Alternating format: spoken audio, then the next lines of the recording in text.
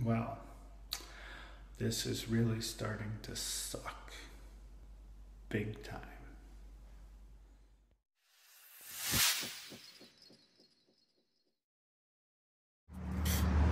Had to come over here to the little strip mall just to make my vlog live because we're having uh, problems with our internet at home.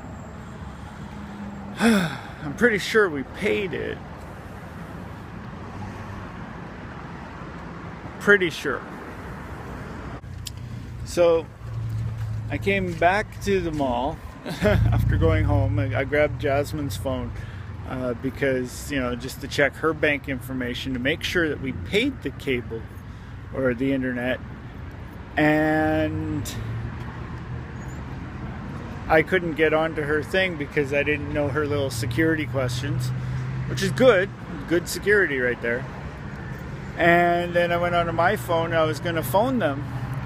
And right away I got this message uh, from Facebook. It was Jasmine saying that it's back. So we got internet back now. So that's good. Almost forgot. I have to upload some songs onto SoundCloud before I leave. And I got half an hour to do that, so shouldn't be that bad. Well, now that that's done, and I got 10 minutes to get my uniform back in my bag and leave and go to work. Hmm.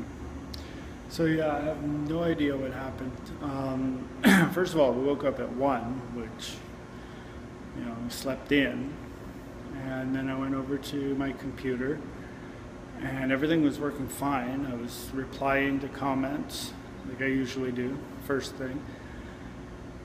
Then I went to make my vlog live, and that's when it started slowing down and then it said no internet connection. So, uh, you know, reset the modem like five times, didn't work. And then I went over to the mall, uploaded my vlog there, well, made it live there and shared it around.